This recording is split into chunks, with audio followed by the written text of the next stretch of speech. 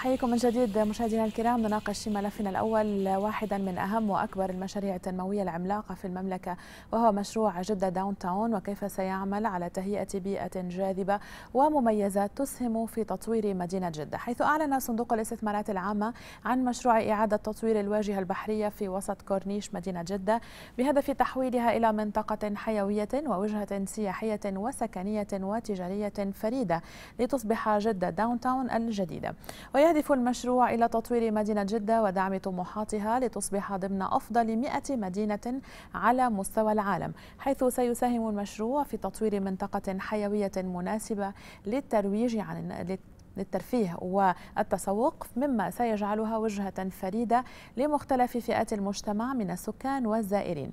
ويقدر إجمالي مسطحات البناء في المشروع بأكثر من خمسة ملايين متر مربع تتسع لأكثر من 58 ألف نسمة.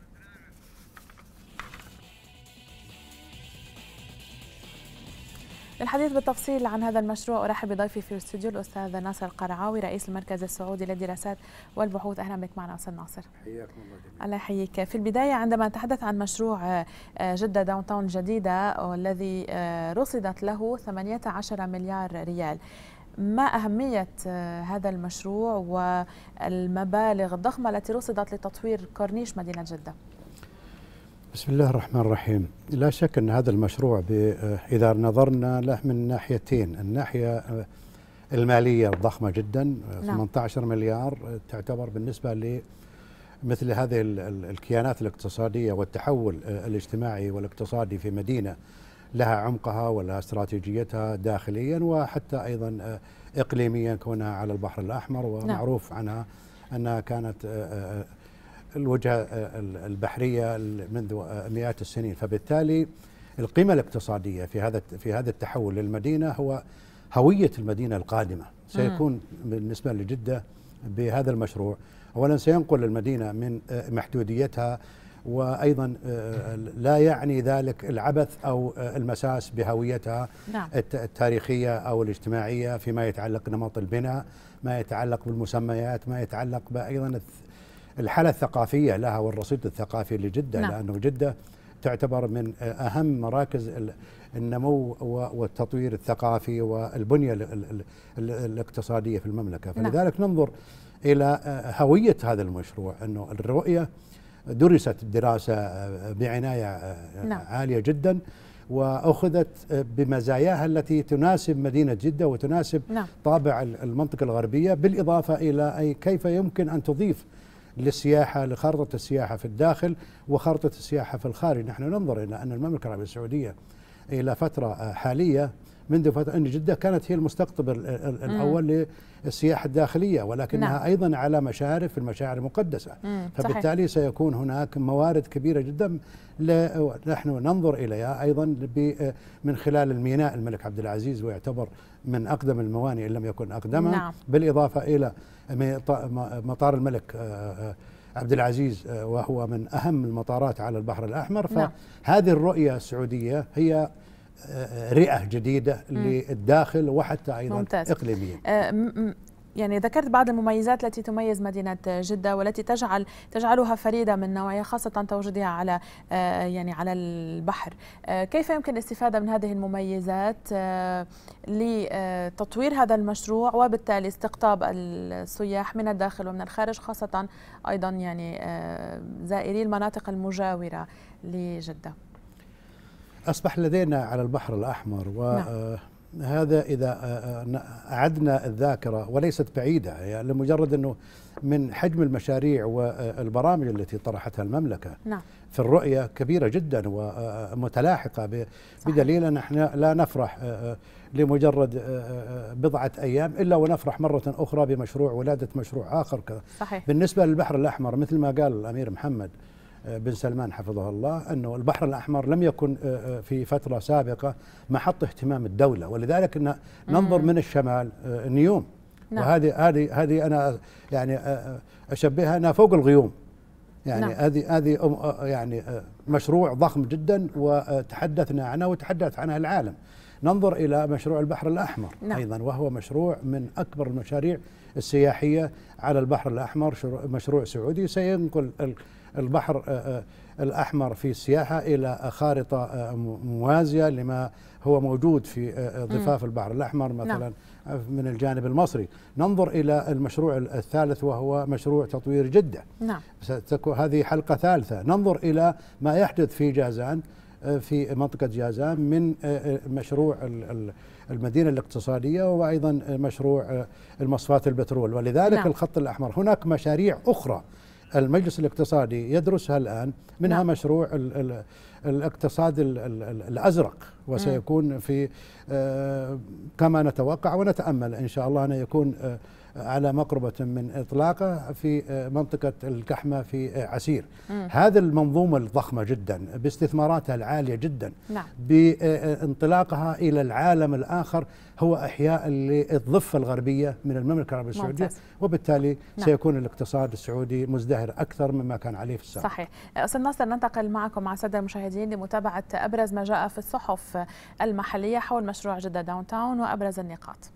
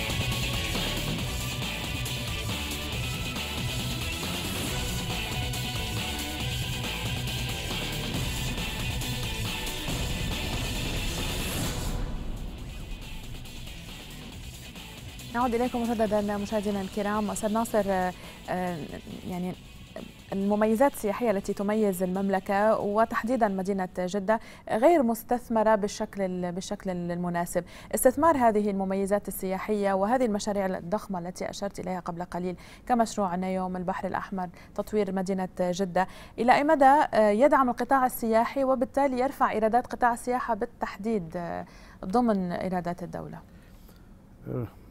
على مقربة آه، من من الأحداث الأخيرة نعم حينما اتخذت الدولة وشرعت الكثير من من تشريعاتها نعم. المنفتحة على المجتمع السعودي سواء فيما يتعلق بهيئة الترفيه ما يتعلق بالرياضة ما يتعلق بمنظومة الحياة العامة في المجتمع نعم. أثرت على آه، آه، آه، هجرة الكثير من المواطنين السعوديين إلى الدول المجاورة أو غير المجاورة وبالتالي نعم. في الإجازة الأخيرة المدرسية كان هناك إقبال على السياحة الداخلية نعم. ونحن في بداية الأمر ولذلك هذا هذه المشاريع إذا نظرنا لها من الناحية السياحية نحن نصرف أكثر من 70 مليار سنويا على هجرة الأسر مم. السعودية وقضاء يتم إنفاقها خارج المملكة نعم مم. فبالتالي هي السوق السعودية أولى بذلك ولذلك استهدفت صحيح. الدولة أن توطن مثل هذه الأرقام الكبيرة جدا في مشاريع اولا استثمارها في الداخل تخلق رؤوس دورة رؤوس أموال تخلق صحيح. أيضا وظائف تحمي المجتمع من كثير من السلبيات التي يتعرض لها الأفراد سواء فيما يتعلق بالسلوكيات أو ما يتعلق بالتأثير التأثر بشكل عام نحن ننظر نعم. إلى هذا التوجه في الدولة أنه التوجه الذي سيعطينا المزيد من الفرص فيما نعم. يتعلق بالسياحة وما يتعلق بالاقتصاد وهو ممتاز. والسياحة جزء من الاقتصاد. ممتاز. أنتقل إلى ضيفي ينضم إلينا عبر الهاتف الأستاذ حسن الصبحي مدير تحرير للشؤون الاقتصادية في صحيفة المدينة. أهلا بك معنا أستاذ حسن. نتحدث عن مشروع جدة داون تاون الجديدة التي الذي رصدت له ما يقارب 18 مليار ريال. آه، أين تكمن الأهمية الاقتصادية لهذا المشروع في مدينة متميزة كمدينة جدة؟ أهلا وسهلا فيك استاذتي العزيزة وفي المشاهدين القناه الإخبارية وضيفك الكريم. أهلا آه بالتأكيد أن مشروع كهذا سيكون آه, آه، إن شاء الله انطلاقة ونوعية للسياحة في المملكة العربية السعودية ولمدينة جدة.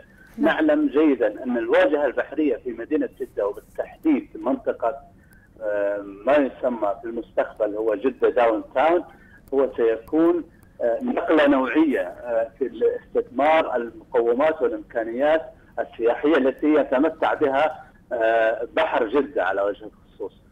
آه، وأيضا حجم الاستثمار الذي ذكر نحو 18 مليار ريال يعني هي فرص استثمارية مواتية لإدخال الكثير من التقنيات والاستثمارات الجديدة سواء السياحية والفندقية والفندقية نعم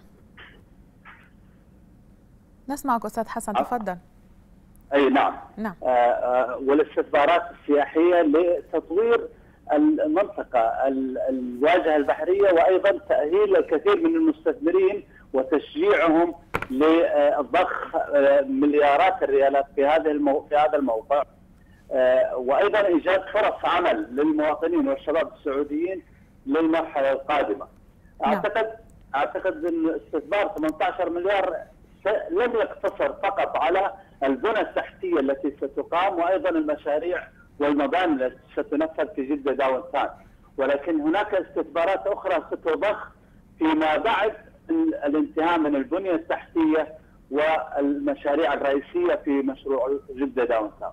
ممتاز. آه، أستاذ حسن يعني في ظل رؤية المملكة 2030 والهدف آه، آه، هدف أساسي زيادة الإيرادات غير النفطية المنظومة متكاملة بجذب استثمارات شركات القطاع الخاص لهذا المشروع وبالتالي خلق فرص وظيفية تتجاوز أو يعني مستهدف أن تخلق 36 ألف فرصة عمل.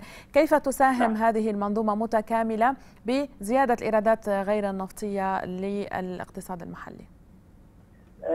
اقتصاديا معروف إن القطاع السياحي عندما يستثمر دولار واحد في في هذا القطاع هناك سبعة دولارات فيها ناتج وحسب معلومات آه، استقصيناها من بعض المختصين نعم. فإن القطاع السياحي عادة يشغل أكثر من سبعة قطاعات وأنشطة أخرى تستفيد من هذا القطاع وبالتالي عندما يستثمر الدولة المملكة العربية السعودية في القطاع السياحي فهي بالتالي آه، هناك كثير من القطاعات ستكون الأكثر استفادة وبالتالي يكون العائد على معظم القطاعات الاقتصادية للمملكة العربية السعودية. نعلم جيدا أن هناك قطاع الضيافة أيضا أحد اهم القطاعات التي ستستفيد من جدة داون تاون وأيضا قطاع المقاولات والقطاع العقاري وقطاع الفندقه والأعمال السياحية بشكل عام وأيضا الأغذية والمطاعم وغيرها. ممتاز. آه، اعتقد تفضل. شكرا لك أستاذ حسن الصبحي مدير تحرير لشؤون اقتصاديه في صحيفة المدينة. شكرا جزيلا لك. آه، أستاذ ناصر نعود لنستكمل حوارنا. آه، عندما نتحدث عن هذا المشروع وبامكان هذا المشروع أن يخلق 36 ألف فرصة عمل هذا أيضا يفتح آفاق جديدة لطلاب الجامعات للتوجه للفرص التي يحتاجها سوق العمل مستقبلا في السنوات القليلة القادمة كيف يمكن مواكبة آه، آه، هذه الفرص الوظيفية من خلال آه، طلاب الجامعات وتدريبهم وتوجيههم للتخصصات التي النوعية التي سيحتاج إليها سوق العمل في المستقبل القريب بحجم المشروع وأيضا نعم. نوعيته وهويته بالتأكيد سيكون هناك الكثير من الفرص ليس فقط في مجال التوظيف بالنسبة للقوى العاملة ولكن أيضا نوعية الوظائف نوعية التوطين في هذا المجال لأننا نحتاج إلى الآلاف ممن يتوطنون في مجال السياحة والفندقة والخدمات الموسمية ننظر أيضا إلى فتح المجال للاستثمارات الدخول القطاع الخاص صحيح. أعول عليه أنا كجانب اقتصادي أن له نعم. دور كبير جدا أن يكون مع صندوق الاستثمارات العامة الذراع المكمل لهذا الدور ننظر أيضا إلى ما أنا وأثناء حديث الأخ صبحي يعني تذكرت شعار جدة جدة غير بعد نعم. هذا المشروع ماذا يمكن أن نضع أن نطلق عليها جدة هل نقول جدة غير لا أصبحت يعني جدة سابقة غير جدة القادمة جدة صحيح. ستكون الرئة الأكبر على البحر الأحمر ومثل ما أشرت في إجابة سابقة نعم. أن هذا المشروع هو الذي سينقل المنطقة إلى آه، عالم آخر ليس في ال 36 وظيفة 36 ألف وظيفة أنا أتصور أنها ممكن تصل إلى ال 50 ألف نعم. وأنتظر أيضا إلى أن يكون هناك أيضا ريادة مم. للسياحة السعودية على البحر الأحمر لأن البحر الأحمر من أفضل البيئات المستهدفة مثل نعم. ما هو موجود في بعض الدول نحن ننظر إلى هذا المشروع أنه مشروع مكمل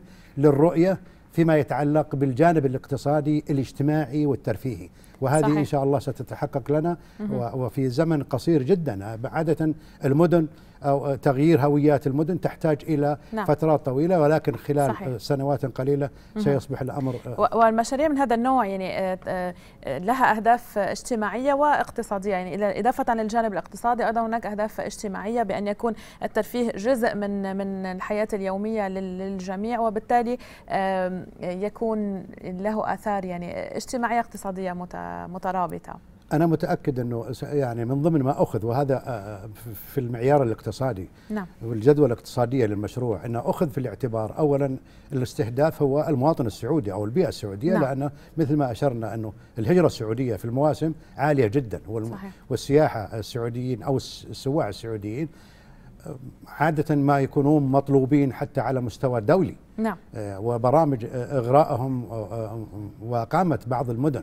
مثل دبي مثل إسطنبول بعض نعم. غير أوروبا ما فيما سبق ننظر إلى أيضا إلى أنه آه، موسم الحج والعمرة نعم. حينما يأتي الحجاج ورفع سقف آه، آه، الحجاج أعدادهم والعمرة أيضا أنهم يقضون بعضا من من وقتهم في جدة حينما يجدون المساحات المكافئة من حيث التكلفة الاقتصادية من نعم. حيث الترفيه من حيث الخدمات فبالتالي. سننظر إلى التكامل في خلايا أو مكونات الاقتصاد سواء صحيح. فيما يتعلق حتى أيضا أنظر إلى مستقبل جدة فيما يتعلق بالتعليم الجامعي نعم.